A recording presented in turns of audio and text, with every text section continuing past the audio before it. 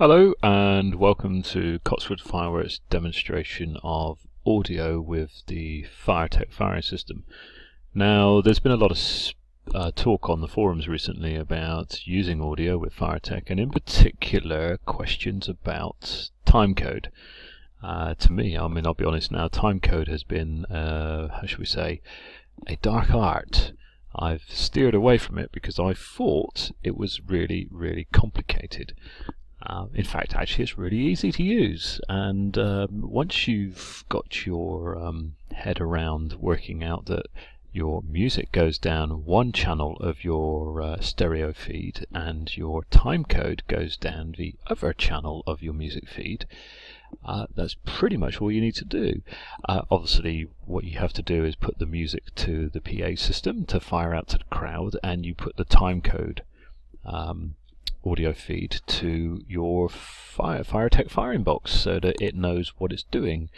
Um, or if actually the timecode isn't telling the FireTEK what to do, the timecode is just telling the FireTEK what time it's at.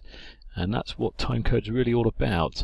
If we step back a bit and we look at a, um, a typical firing system, let's just say, for example, we have a laptop uh, which is going to play the music and the laptop is also going to um, tell the firing system when to start.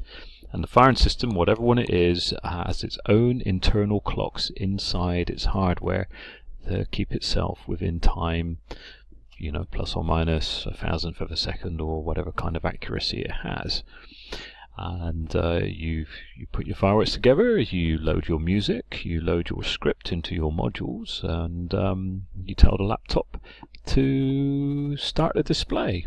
At which point the laptop starts playing the music, and the firing system now starts firing the fireworks to the script. What could happen is the laptop's internal clock may be running slightly faster or slightly slower than the internal clocks of your firing system. So the music very, very slightly may be playing faster or slower than the modules of firing the fireworks. So after five minutes of the display, you may suddenly find that that's slightly noticeable. My music's half a second behind the fireworks, and after 10 minutes, it's now a second behind the fireworks. Um, this is a big exaggeration, but it can can happen.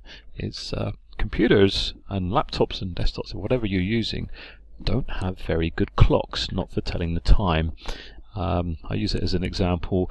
Uh, for all I know, you might be using an iPhone to play the music, and that too may have a, a problem with playing at speed, uh, right speed, um, in comparison to the internal clocks that are being used by the firing system. So things can get out of sync over a period of time, sometimes quite quickly or not quickly at all. I mean, I'm using this as a bad example, or shall we say, an example of it, it, that's exaggerated. You might find after 10 minutes of playing that your music is only 100 milliseconds out of out of sync, which is a tenth of a second, and you you will see the difference. The audience may not see the difference, but you know if you want to uh, uh, make sure the music is perfectly in time, then the method to use is timecode.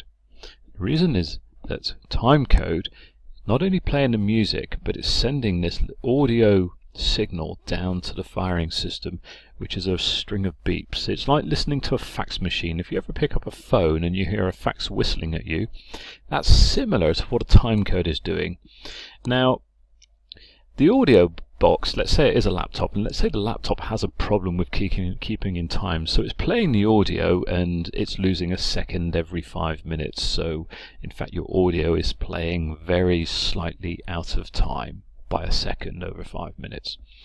This no longer matters about the firing system. The firing system is listening to the time code, and the time code is saying fire now, fire now, fire now, fire now. That's the kind of signal it's getting. But because the audio signal from the time code is generated by the same piece of hardware that's generating the audio going to the music system or the sound system to play the music to the outside world, they're both in time, albeit they're both playing a second behind after five minutes. It doesn't matter. The time code is playing at the same speed as the audio. So that's one of the reasons why timecode is useful when you start playing uh, fireworks to music in extremely, I should say, long duration shows, and it's not uncommon to do a 30 minute display to music for bonfire night in the UK.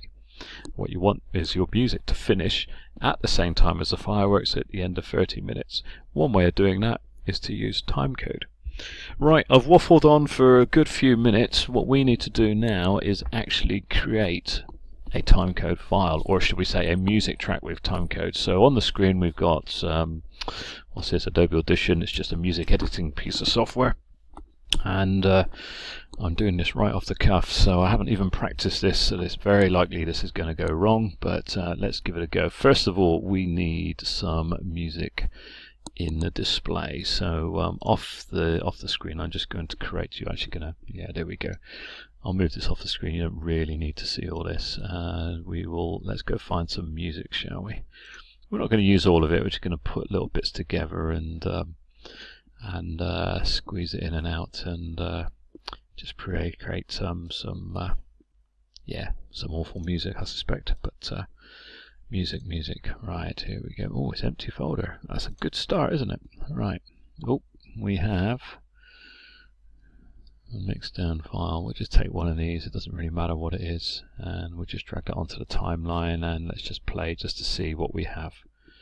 Uh, looks like there's a two second gap at the beginning. So we'll drag that in there and hit play.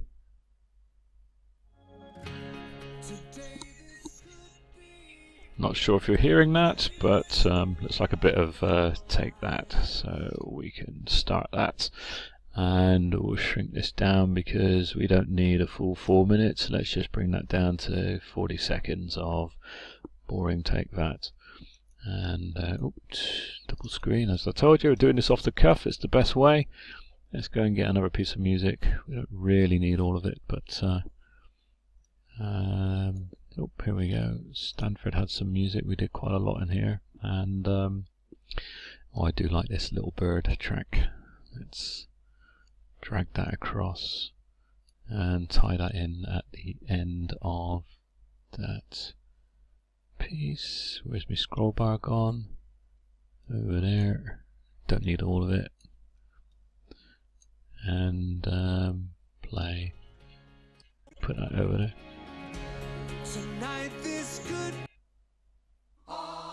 There we go. Messy editing, but we've now got two minutes of music, two different tracks, just for just for argument's sake. There we go.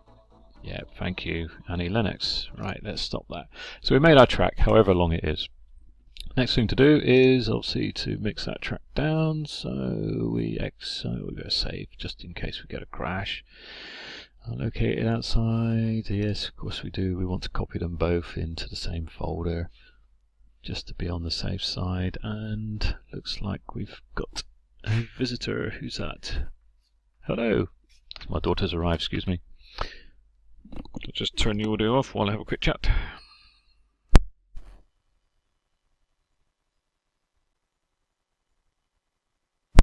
Oh, there we go young daughter problems with boys.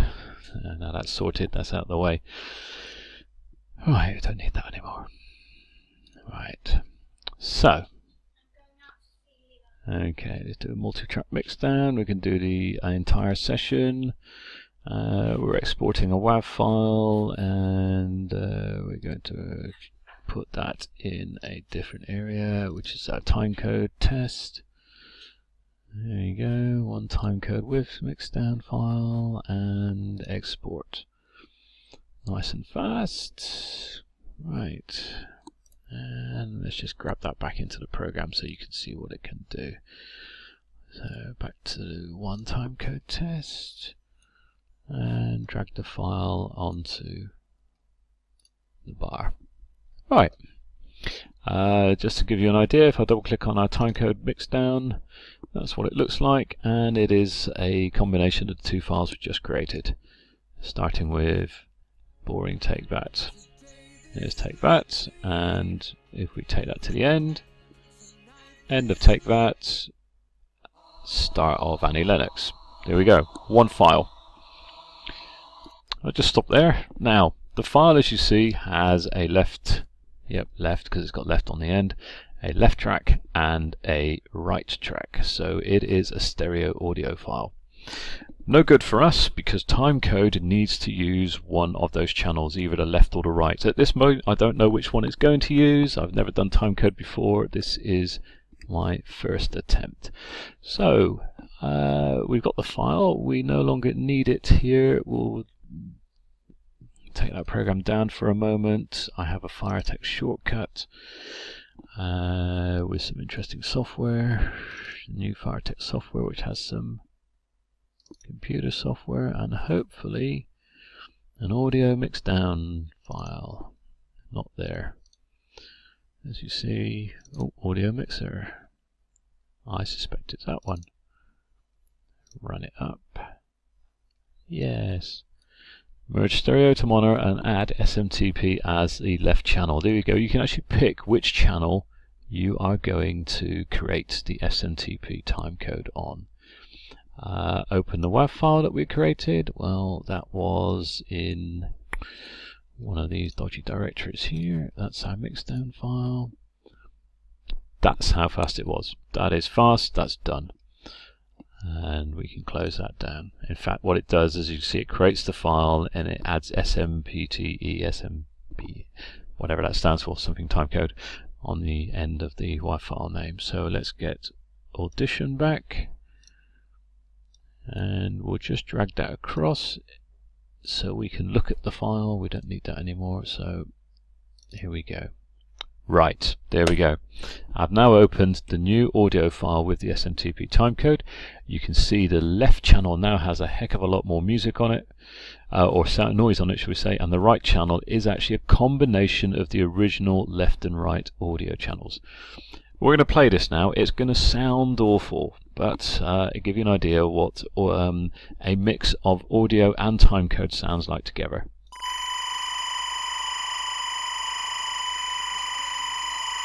You may just have been able to hear the um, audio underneath. Uh, we can, probably in a way, mute this somehow. And there's probably, where's the stereo, left-right stereo volumes just gives you to know I don't use this program enough to actually mute stereo left and right. That might do it. Let's try that again. So there we are. Turn it off. The entire track is on the right channel. Time code. I'm going to unmute it. Is on the left channel. Mute the right. Unmute the left. Now to you and me that sounds pretty awful, but to a computer, or should we say a firing system that's listening for timecode, that is everything it needs. It's a signal that's basically saying start, stop, start, start, stop, stop, or whatever. It's it's effectively giving you an exact, perfect time signal. That's a terrible way of describing it, is it? It's like giving you a, a sound wave that never changes its pitch. It's perfectly in time or should we say in time to the player that's playing it. So if the player itself is playing 10 seconds slow, then the time code will play 10 seconds slow. But that means the music is playing 10 seconds slow, so the firing system will play and fire at the same speed as the music. Perfect. It means the music might sound slow to the audience, but at least the fireworks are going to be in time to it. Same as if the firework, the music was playing slightly fast, the time code will play to the fireworks uh, uh, firing system slightly fast as well. So the firing system will stay in time because it is listening to the time code, not to its internal clock. Uh, that's enough for the moment. I've probably confused the hell out of everyone. There we are. That was how easy it is to create your timecode file. What of course you now need to do is build a piece of hardware, a, um, a three and a half mil cable, uh, audio cable that has a left channel going out and a right channel going out. And in this case, you put the right channel to your PA system and your left channel to your FireTEK firing module. We will try and make a video in the future where we actually build the cable because I haven't built it yet and I don't have the spare jacks around to um, to chop one in pieces and, and wire one up quickly. And uh, we'll actually show timecode playing to the um, firing system and the ability to the fact that when you pause the music, the fireworks stop. uh, or should we say the firing system stops firing, and when you start the music again, it starts firing where it left off, uh, which is perfect. And um, yeah, exactly what timecode does, exactly what you need to do. Hope I haven't confused anyone. Uh, this was just a very quick rough copy, uh, just a quick idea uh, showing you that it's actually really simple to create a timecode. The software we used is free. Um, you get it for free when you buy FireTEK, and um, likewise the firework editing software that Lorian uses is also free. Uh, thank you very much, and uh, this is yeah goodbye from Cotswold Fireworks and goodbye from FireTEK. Now, how do we stop this video recording? Because this is uh, it's uh, all new. Uh, let's see. Ah, there we go. All right.